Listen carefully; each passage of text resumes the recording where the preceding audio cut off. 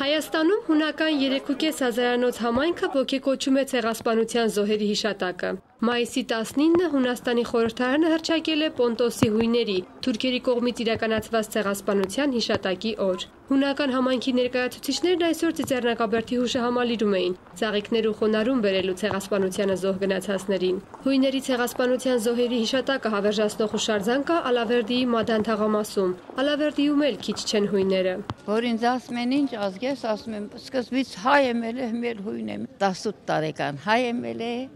54 տարեկան հույն։ Ամուսնացել եմ հույնի հետ ու հույն եմ։ Երեխեքս հույն են։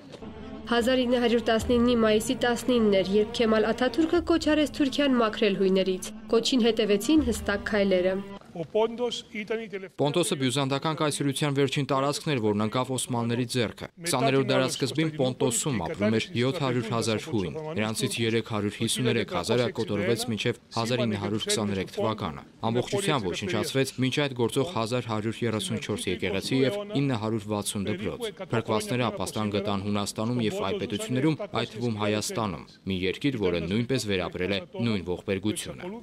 Հայոց ցեղասպանության ճանաչման ուղղված քայլերն իբրև օրինակ են դիտարկում հույները։ Հայաստանում հունական հասարակական կազմակերպությունների միության նախագահը կարծում է, որ հույների ցեղասպանության մասին աշխարհը դեռ բավարար չափով տեղյակ չէ։ Պոնտոսի հույների ցեղասպանությունը մինչ այժմ ճանաչել են Կիպրոսի, Հունաստանի, Շվեդիայի խորհրդարանները։ Ոնց որ հայկականն է իհարկե ոչ,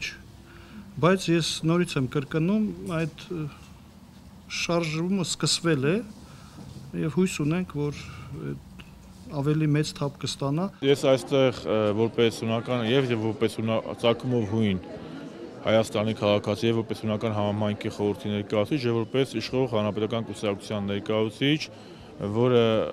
հայ հեղափոխական դաշնակցության հետ միասին նախաձեռնել ենք